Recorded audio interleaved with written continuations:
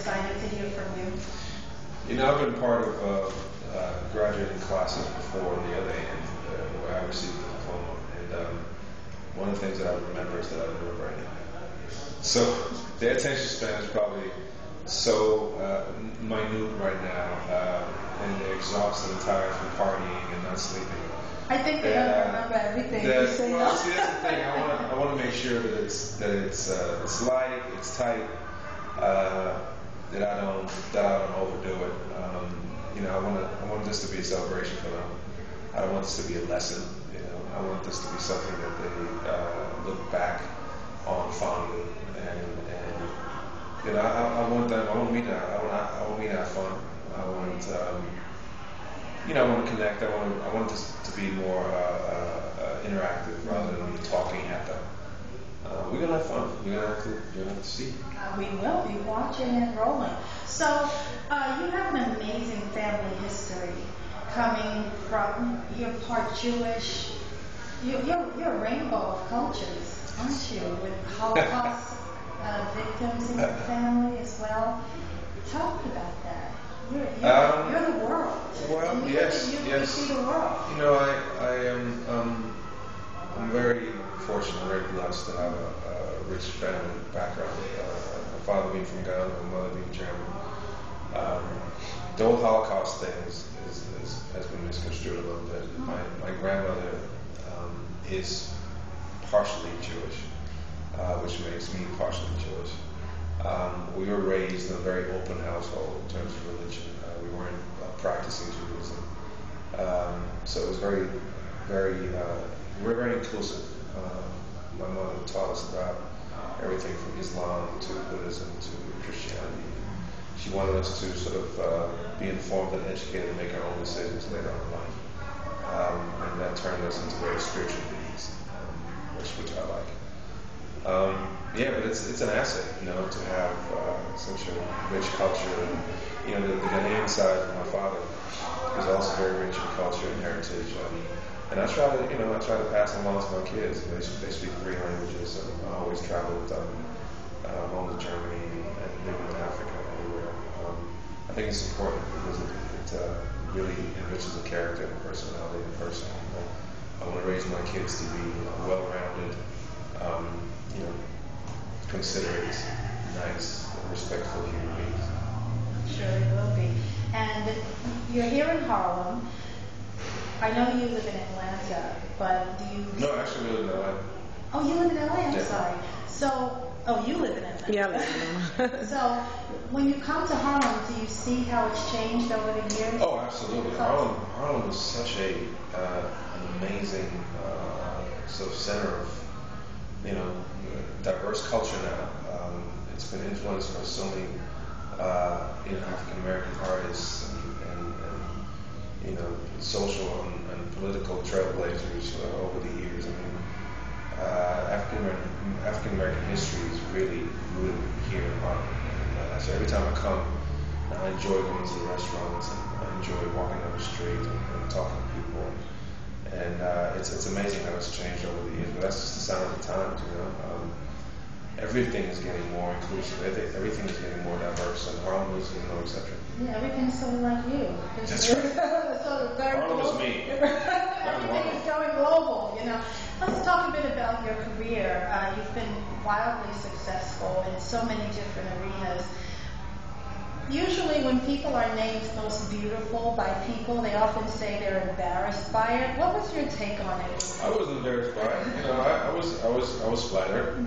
I can't take credit for it. You know, I got to give credit to my mother, and my dad. But uh, you know, it was it was fun. It was it was certainly an honor to be included in that exclusive club. Um, but that was like a hundred years ago. I know, I know. I know. So the older I get, the better I used to look.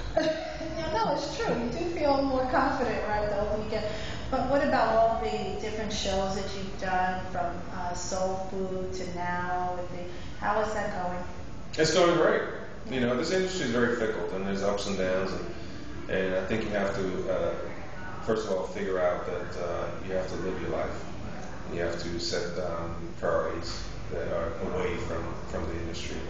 And that's the only way to really survive it, because if you make your happiness and joy uh, uh, depending on uh, getting a phone call from somebody who a movie, then, then you're going to be uh, unhappy most of the time. Yeah. Uh, and I've and I've uh, I've managed to do that. You know, I'm, I'm all about my family, my wife, and my kids, and I have a lot of uh, entrepreneurial interests and uh, running foundation certainly a full-time job as well. Um, I love to travel, see the world. I mean, this this business has has afforded me a lot of perks, a lot of great things. Uh, um, so I'm very blessed. Uh, don't forget that. And um, know, I'm looking forward to just doing other different things. You know, I want to go back on the stage and I'll do other different movies and Will we see you on Broadway? uh, well, the last time was 2008, so I think that's been six years. Yeah, uh, yeah, I would be open to it. You know, Broadway was a great time for me. Uh, um, I'm gonna watch my wife uh, at the MacArthur Theater this fall. She's a theater veteran. So, amazing. You know, as such a devoted husband and father, talk to me about your children. I know you have. Sophie and Nicholas, nine and seven.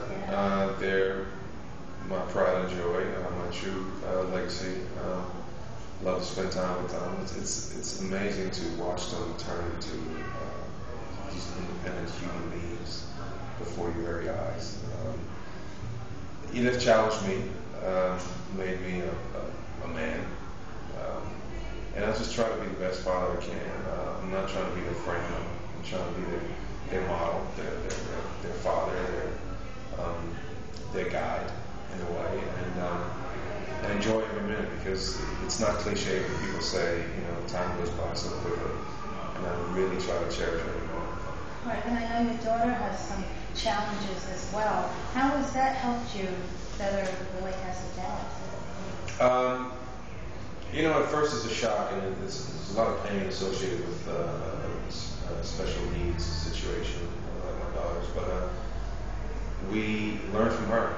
You know, for her, this is her norm. This is her life. So uh, who are we to be devastated every day when she's a happy, go-lucky child with a big smile on her face who, who deals with it uh, like we deal with other challenges. So um, she's taught me a lot. She's she's really made me uh, uh, uh, grow, and um, it into something that's that's really great because we've been able to uh, start the Center for Spinal Injury Research and Prevention in Atlanta and uh, touch a lot of people and, and worldwide.